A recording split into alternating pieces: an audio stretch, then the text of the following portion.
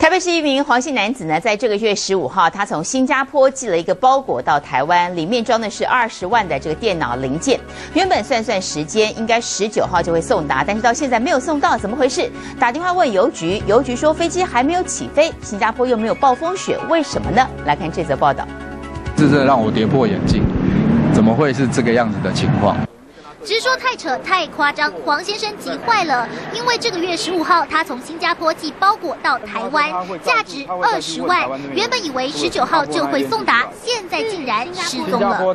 所以新加坡官方就发了一个 info 告诉他说：“哎，我东西已经出去了，不在我这里了。”他邮局那边东西已经出来了。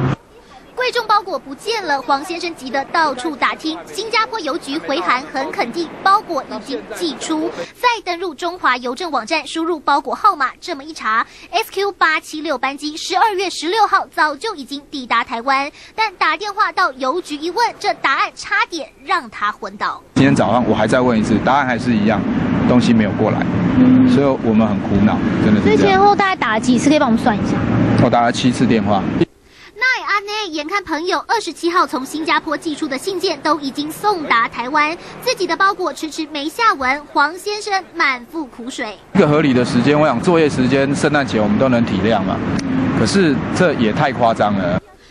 通联记录，前前后后打去邮局七通电话，答案都是再等等。但包裹里头是要帮客人维修电脑的重要零件，十五天过去了，损失上万。黄先生现在只希望邮局行行好，帮他把消失的包裹找回来。中天新闻黄宝同、范新宇台北采访。